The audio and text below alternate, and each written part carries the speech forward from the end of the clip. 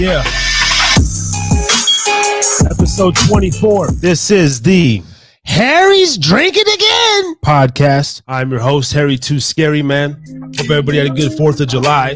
But for tonight, we're doing a little uh, Golden Road mango cart. And I'm going to polish off this bottle of Stolies. Let me cut back on the drinking. I just bought this bottle yesterday.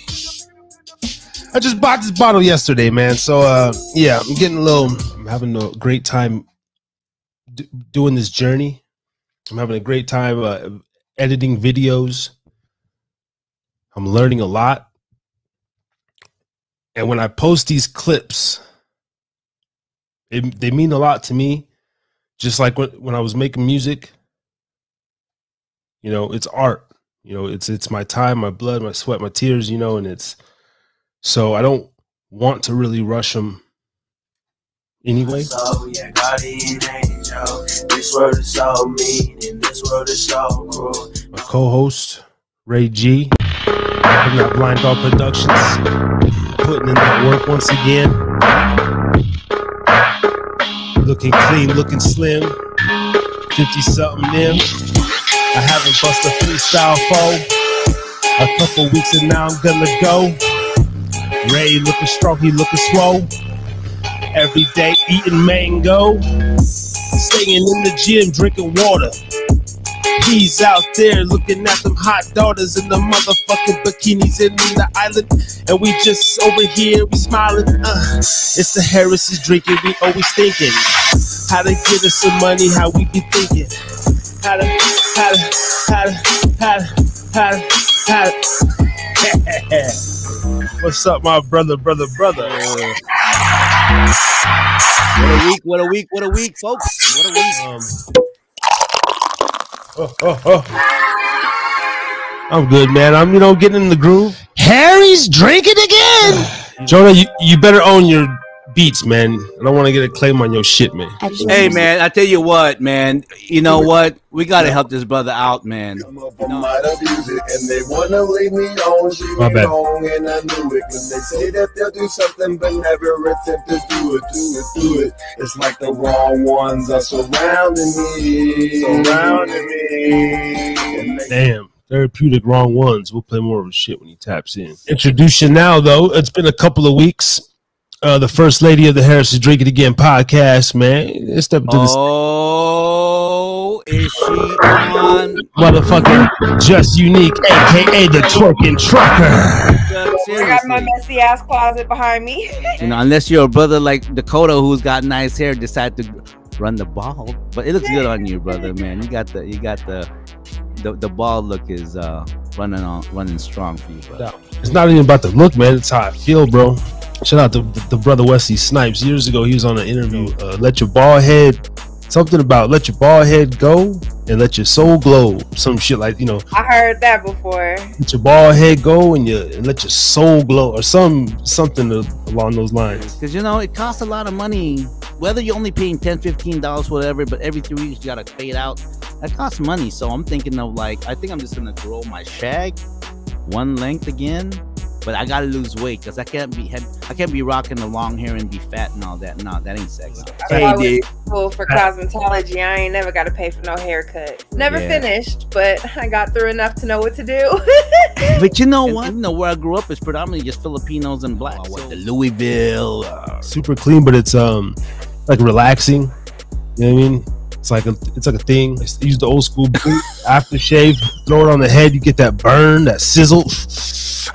You know what I mean? Get brewed by Menon. the thing up, spray a little. Uh, got some Hai Karate. got some different cologne, smooth, and I throw, I throw my little uh, vitamin knee oil or my little head lotion, Yeah. whatever I do, Head lotion. shining. Hey, what about that? What about that body uh, body spray called Axe? No. My kid's dad played that shit out. Axe is so night, so 2002.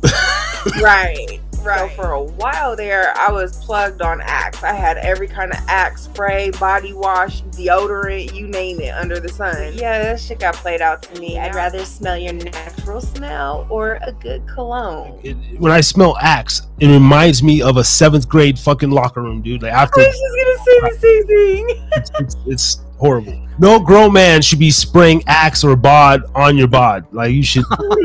like I've been partial to Prada lately because I got two bottles of this bomb ass Prada Mm. for men. So right now I, I got some Versace for men. I have Prada, the Prada Luna Rossa, Prada Carbon, and the uh, Polo Blue.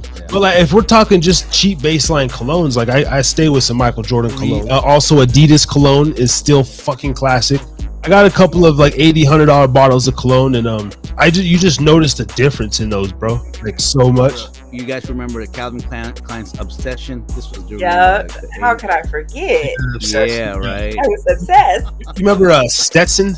Stetson. Oh yeah. So do, yeah. in I, I use I use slice of Stetson. You know, shout out after shout while- out to all my Chicano homies, the the the three flower, and you know, I go to the men's section and I get all my hygiene products and shit from Walmart. I just been doing the Dollar Shave Club stuff. You know, for men, they got the you know little ten dollar little razor and you know little uh, Barbasol, but now they got all these different high high end, you know, old school like thick Yeah. razors. You know, they're they're really uh trying to cater to that market. But a good, but a good razor though. If you put some cheap ass razor that I use, man, you get nothing but Ass razor. I was thinking about getting one of those. That shit look Yeah. dangerous. I don't even know if I trust myself. Okay. But the actual shaving, like I got, I got that shit mastered now. I've been like I've been shaving my balls, man. For uh, I've never nicked my ball sack in my life. Thank Oh God. yeah. no. Why is every time Justice is on this show, well, we end up talking about dicks all the time? Like, Is this what happens when you like mix like men and women? Like like it's naturally gonna go animalistic and I have to say I'm proud of myself. I've never nicked myself while shaving my downstairs either. moist. Like her fucking flavored soiled panties. Oh my god, I fucking oh, I can only imagine a dog like me. you know, like I, I wish we could like record. Maybe we should start doing that. Record our conversations, Dakota, after this show, because a lot of times when we get off the air and we're just talking, just man to man, Dakota and I'll be like, "Oh, bro, man, fuck, man, we, we should, man, we should, we should have talked, man, we should just like."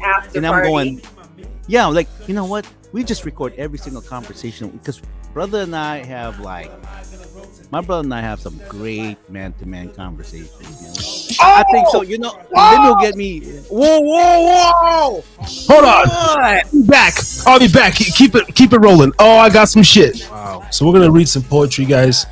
Bear with us here. We're gonna read some written. Just if you're just tapping in, look at this English notebook. This is like from seventh grade. Look at this. This is archives, baby. Hey, look how nice my handwriting. Well, I go from this because you know I'm all sorts of different things. But look at it. Okay, Mr. Penmanship. But that was like when I'm like probably that's probably when I took Adderall and I was focused that day in class. It'd be like that. I think I'm gonna find the poems that I read in Seattle back in 2009. Slam jams, uh, something. See, I, I did this uh, slam jam poetry in Seattle. Okay, I don't have a date for this, but this is young shit. This is like way. This is like under 18 shit for sure. But listen to the mindset, right? I can be what I want to be if I try it. Might be hard and I might cry, but that's okay because I don't care what people think anymore. I'm gonna go where I want to go. I'm gonna do what I want to do. I'm gonna be what I want to be. Sometimes I want to fly away and be free. Nobody else can be me but me. And that's just the way it is. I'm tired of this lifestyle and the way I live. Every day it's the same old shit. I'm trying to change it, but sometimes I think I'll never make it. I want to get up and out on, my feet and go take a ride or run along the beach. All of my life I've been a nobody. Well, now I want to be a somebody. And once I get going, ain't nothing gonna hold me back. And that's a fact. I ain't gonna quit or cut myself some slack because I'm tired of my life and the way I live it. And I'm not afraid to admit it. It's time for a change. It's time to make a statement. I don't care if I'm loved or hated. Ooh-wee. Damn. Now, let me ask you this: After reading that at your age now, and what you were going through back then, you look at it now and how you progressed in life. What's your thoughts on that? I hear a I hear a um, a kid who lacked confidence, who was insecure, but this uh, a lot of hate, like um, tired of this lifestyle. You know that and the way I live every day, it's the same old shit. You know what I'm saying? Like there's a lot of uh, I've always been this um, morose, I don't know, uh, mundane, what do you call it, cynical, like just you know what I'm saying, dark humor. I fucking I, ha- I have to make the dirtiest joke. I'm still kind of that same kid, bro. Like still trying to find myself. Wow. What else can you share with us, man? I want to hear more. I got some hate filled shit right here. I got some hate filled shit. Bro. I was a young, angry motherfucker. I still kind of am. Got a lot of hate up in my soul, man. And um, I mean, maybe I do, maybe I don't. I think I do. I have like, I have a certain disdain. I don't know what it is. I'm, so, I'm just a naturally negative, pessimistic kind of guy. But um, I got this very personal rhyme right here, man. Yo, yo, yo, yo, yo. Right here. I have so much fucking anger. Sometimes I feel like I'm gonna explode and start busting caps like a gangbanger. I don't know why I get this mad. Sometimes I just break down and get real sad. I don't know what the hell it is. Maybe it's something that gives me another reason to live. Or something that keeps me from going off the cliff. My whole life has been kind of fucked up. Maybe it was all those years of moving from town to town, switching schools, never getting a chance to fit in and be cool. I've always been an outsider and felt unstable. But now I'm gonna turn the fucking table and try to get my life back on track. Damn right, I'm black, half white, and I will attack. If you don't like it, then lick my nutsack. Mm-hmm. Don't piss me off, or I'll shoot you in the back, motherfucker. Right? And then go into, I was only five when my parents split up, but now I don't give a fuck. My dad can kiss my ass and go to hell. Maybe I'll send him a bomb in the mail. He's a bitch who could suck my dick and eat my shit. He has never been there for me. Fuck his story. He's a motherfucking liar who doesn't know how to raise a kid. He has six of them. I couldn't give a damn about where they live or where he's been. He's had 10 wives and never gotten it right. He's always cheated on them and partied all night. He's never kept a job and wouldn't matter if he got robbed. He is the one I blame for the way my life has turned out. He should go to hell without a doubt. I don't know. It's like 13, 14. He's a bitch and I hate him. Rest in peace, by the way. I don't have these feelings currently. Uh, he's a bitch and I hate him. Why the fuck would any bitch date him? He's an old stinky, stinky, wrinkly motherfucker who's always tired and never feels good. He should just die. I wish he would. He ain't shit or any good. Never calls me or comes by. He always makes excuses and lies. When I was little, I always had to go see him and call. He never ever did shit for me, and he always made my mom worry and made her go through shit she never had to go through.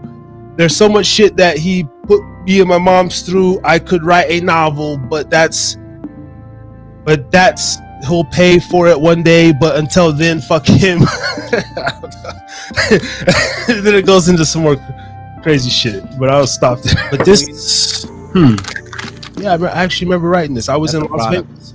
I was in Las That's Vegas, sitting on my floor in the room around this time of year. Actually, I, I specifically remember this. Yeah, sitting there. I remember like pinning this shit out.